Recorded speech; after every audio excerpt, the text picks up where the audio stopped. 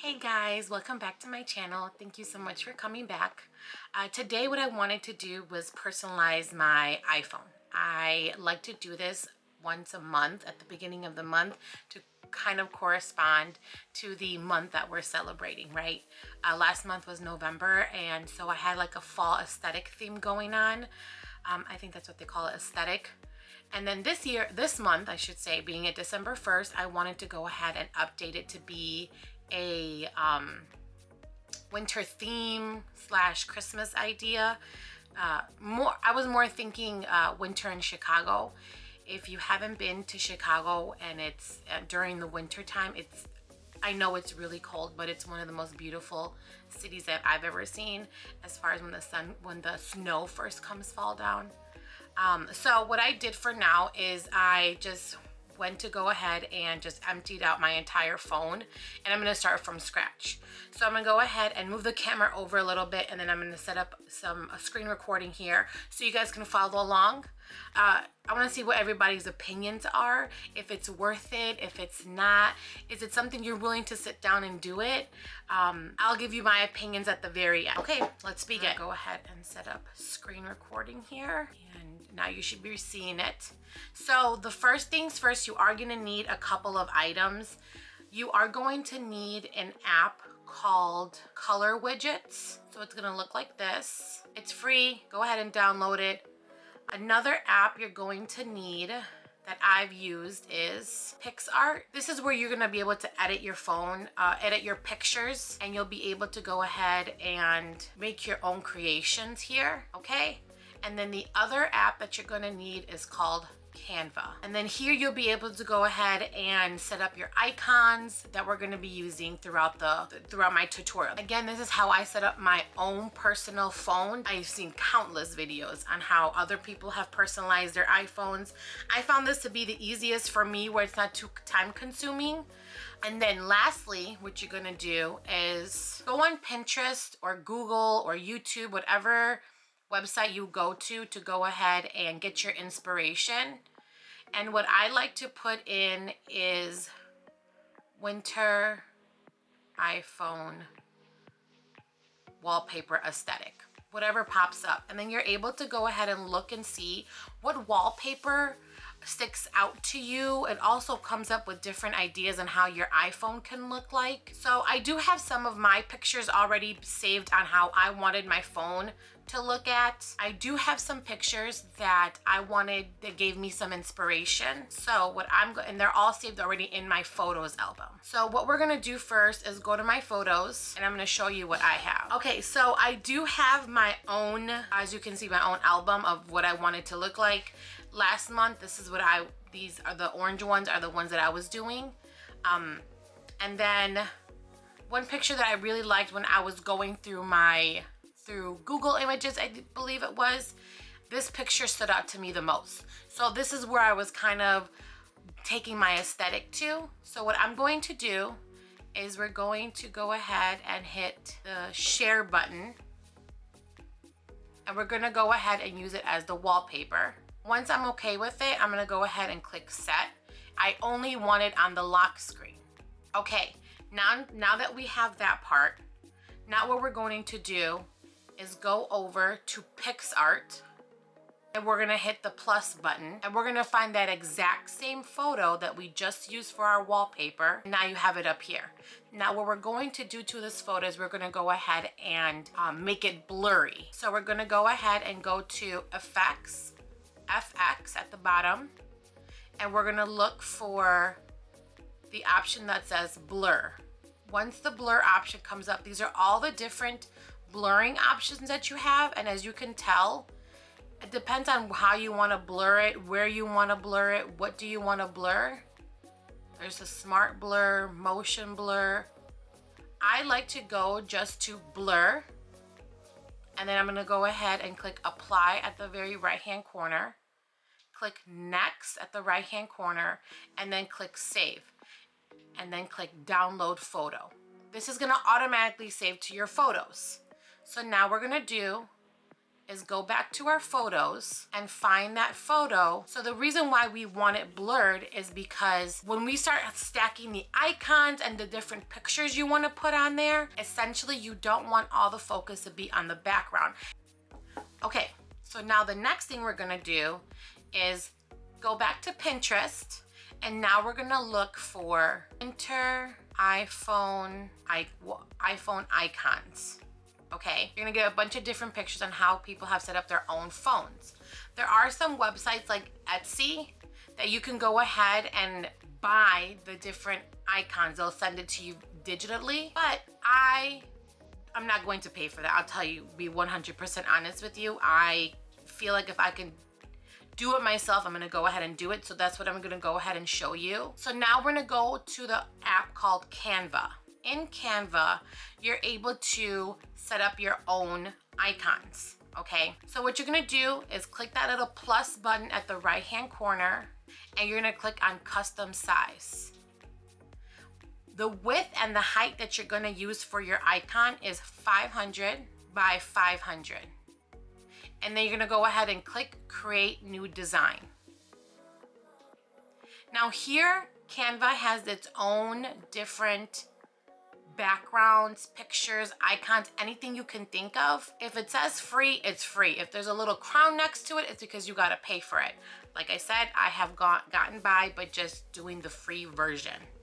So what I'm going to do is click on background and scroll and see if I like anything that's pleasing to me. Okay, I like this glitter one that I just found. So now what we're going to do, we are going to click that plus button and we're gonna go ahead and look for elements again. And then when we click on elements, these are all the different types of icons. So for example, if I wanted to set a camera icon, I can look it up and then anything that's a camera will pop up. Again, if it says pro, you have to pay for it. So I look at the icons and see which one I like the best. I think I'm gonna go with this vintage looking camera. I feel like that's kind of Christmassy. So I'm gonna go ahead and play with the size now so it can be lined up. And the nice thing is that it does show the lines when it is lined up. So now another thing you can do is play around with the colors of the actual icon. So once you click on it, you're gonna see a, the color at the bottom next to the little garbage can. Once you click on that, you can go ahead and see the, it tells you the different colors that are in within the photo, which is really nice. So let's say you can play around and see which one you feel like looks the best for your actual phone itself. So once you have the color that you of your liking, now you're gonna go ahead and at the top right hand corner, there's gonna be an arrow pointing down. You're gonna click on that and download it. It's going to prepare it. And then next thing you know, it's gonna be in your photos. So once we go to our photos, my icon is there to use. If you don't want to sit there and create your own icon for each of its items, I understand it can be very tiring to pick each one, especially if you're the type of person who has a bunch of different icons they depend on, okay? Okay, so one thing, like I said, if you don't want to take your time to go through each different icon to create your own, I went to Pinterest and I'm going to go ahead and link this link that I was using. And I found an icon that I really liked. It's called Guitar and Lace, her website. Once you click on it, she gives you free aesthetic iPhone app icons. She does charge if you want them customized to a specific picture that you're looking for. Um, but with what I was looking for when I was creating mine, I saw a bunch that are were already offered free. She has some olive green ones. She has a cozy November, 90 minimalist, and you keep going and she has a bunch. The one that I really liked was called Boho Tan Pink Aesthetic iPhone apps.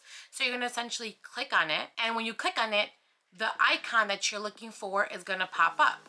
So if you want, so if you're looking for example, the Safari one, right? You're gonna click on the Safari one and the Safari icon's gonna pop up. What you're gonna do is either screenshot it or hold and add to your photos.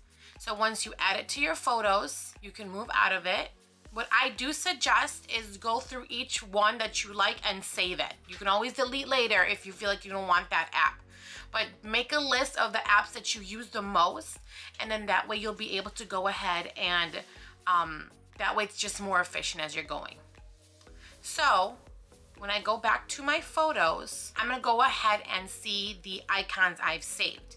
So as you can tell, these are the ones, the ones that are like the, um, not the olive green ones, but the neutrals, the pinks, the grays, those are the ones that I wanted because of the background that I originally chosen. So as you can tell, I'm gonna be customizing only my email, my music, my camera, my calculator, my notes, reminders, calendar, phone, my Safari, messages, and maps. Those are the icons. All right, so we're gonna click on the plus sign at the top right-hand corner. We're gonna go ahead and click on add action. We're gonna locate open app. It's gonna be like a square with colorful different buttons on it. Then we're gonna go ahead and click where it says choose. And in this instance, I'm gonna create one for maps. So I'm gonna locate the app. You can scroll if you wanted to. It's just easier for me to type instead of just sitting there and scrolling all day. And then we're gonna click on the circle with the three little dots at the top right hand corner. We're gonna click on shortcut name and type in maps. We're gonna, you can customize this if you wanted to, to whatever your liking is okay? We're gonna go ahead and click on choose photo. Go to wherever you saved your specific file. Look for that icon you want. I wanted this foresty looking map. Click on choose and click add. You're gonna see the confirmation, click on done. Okay, so once you've created all your shortcuts, you're going to be at your home screen. It's gonna look like this now this is where the fun starts. You're gonna go ahead and add any widgets that you want. You're gonna go ahead and add a home calendar if you want. So the next step that I took, I went to color widgets, okay? Here you can choose Christmas countdown, any quotes, the weather if you wanted to. Sit here and get to know the app. Once you sit there and play around with it, you'll be able to see what you like, what you don't like, okay? So I wanted a calendar. So I went to where it says calendars and I chose the style that I wanted. The one that I wanted was something basic. So now what you're gonna do is go ahead, if you like the basic one, go ahead and click um, set widget. I wanted to customize it. So I'm going to click on edit widget. Here you can see how it's gonna look like at the different dimensions that's offered for it. So we're gonna scroll down. You can choose a bunch of different colors. You can choose where a bunch of different fonts, okay? And you can also choose what you want in the actual, you can change the background on it. So the background, I wanna click on add photo and there's a photo of my family and I that I wanted to use this one but I want to do an up close on choose and you can see now it in the background how it's going to look like it large, medium, and the small one. So you're gonna go ahead and click on set widget, okay? You can replace any of the widgets you already made. Remember the name of the widget as well. So what you're gonna do is go to your home screen, long press, click on the top left hand corner, that little plus sign, and you're gonna see where it says color widgets, okay? You're gonna go to the medium one and click on add widget. As you can see, it's a picture of me and my husband. So what you're gonna do is click on done, long press only on that one widget, click on edit widget, click on choose, then find the one that you wanted to go ahead and put on there. Mine was widget three. Once you do that, you go back home and there it is right there. Now you can go back to that same app, okay? And you can stay on that same area if you wanted to, which is what I'm going to do. But actually, I just want a photo alone. So I'm gonna click on widget and click on photo only okay? And the photo that I want is a picture of, of me and my husband. So I'm gonna go ahead and edit it the way I want it to. I'm gonna go ahead and click on choose. I'm gonna see if that's what I wanna see is how it's gonna look like in the smaller version. I like it. We're gonna go ahead and click on set widget. And then for me, as you can tell, I already had done it, okay? So once you, your widget's already there, you're gonna go ahead and go back to your home screen and then you're gonna again press long hold and click that plus button again and look for the color widget app or the color widget widget. Once you click on that, you're gonna click on the size that you want. I want the smaller size. We're gonna go ahead and click add widget, okay? Click done and then long press only that one widget. Click on edit widget, click on choose, and then we're gonna go ahead and do widget four. Yeah. So this is where I'm gonna start moving things around. I don't like the way the way the screen is looking here. So I know that I have to go ahead and click, I want my phone app down here. I want my Safari app down here, my messages and my, and my mail. I want all those down there. Okay, now what I'm going to do is move that up here and I actually want this over here. Okay, another app that I like to use is called Motivation. I You download it, you can go ahead and pay for it if you wanted better quotes or whatever it is. I've gotten by only by using the free one. And then what's gonna you're gonna see here is the quotes.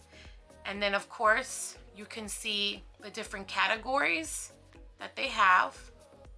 And you can click on a specific category, the different widgets that they have. You can go ahead and customize this on however you want your background to go ahead and look. I already did this. As you can tell, I'm going to use the second one here where it says Simple Fall 2. I just like the way it looked. So once I go back to my home screen, I'm going to go ahead and long press and click on that plus button and look for the app, the widget for motivation. Again, you have your sizes if you wanted to. I like the smaller one as well. You can see the different options that it comes with. So I'm gonna go ahead and click on add widget and now it's here. So I'm gonna go ahead and fix it how I want this to look. Okay, so my thoughts on this. I personally love it. I like I said, I love personalizing my own items. I hate having to be the standard or having to look like anybody else. So when I saw this new update, it took me a while to get used to the shortcut button and everything. Um, but once I got used to it, it didn't feel like I was doing much with it. Um, but I can say that now that to do this, I can go ahead and do this for each month. What I like to do usually around the middle of the month is start looking up ideas on what I want to do for the next month. That way, when the next month comes, I'm able to go ahead and update my phone. Also, something I do suggest is doing this with your main apps only on your home screen, like the one you do when you first unlock your screen. You see that you can have your other screens. I only have one home screen and everything else. I'm able to go ahead and search it through that nice library now that the update came with. I don't really like to have a bunch of apps everywhere. That was one of my biggest annoyance. Now that I can just search instead of having to scroll and scroll and scroll and swipe through different types of screens to get my apps, um, I didn't really like that. So with that being said, I hope that you guys are able to try it, have fun with it. You know, leave me comments if you need help me explaining something or the different types of um, apps that I'm using and the Pinterest. All of that I'm going to link down below so you guys can go ahead and read more. Do your research and see what you like to do. I see a bunch of different screens with that's even more personalized than mine. I liked mine was simple and I just like how aesthetically pleasing it looks to me. But that was our to-do today. So again, guys, thank you for watching. Just remember, take it one day at a time.